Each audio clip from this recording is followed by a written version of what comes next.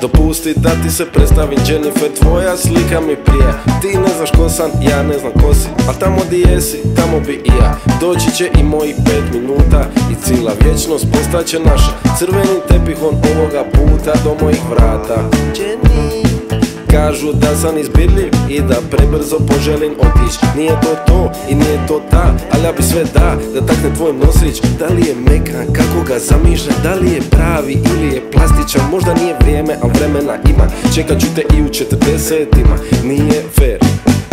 Jennifer Nisi ni svjesna Da bilo bi ekstra Nije fair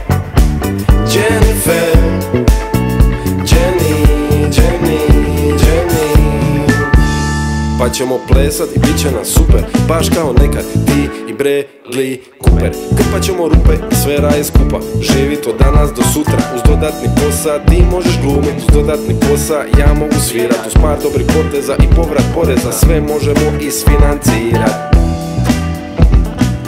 Isfinancirat. Isfinancirat. Isfinancirat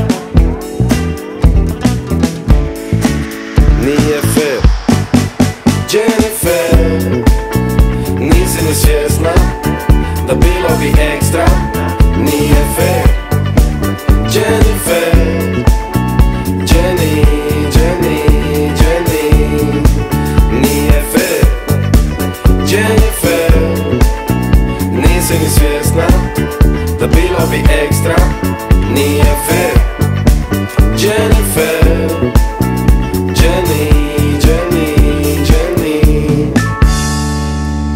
što je moje.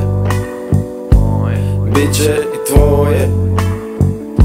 A sve što je tvoje Bit će i tvoje. Pusti milijone. Dođi na more.